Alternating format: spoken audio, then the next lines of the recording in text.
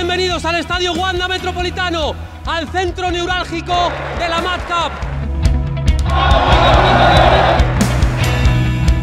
Fortísimo el aplauso para Enrique Cerezo. Esta es vuestra casa. 10.000 jugadores de 20 países y os agradecemos que estéis aquí.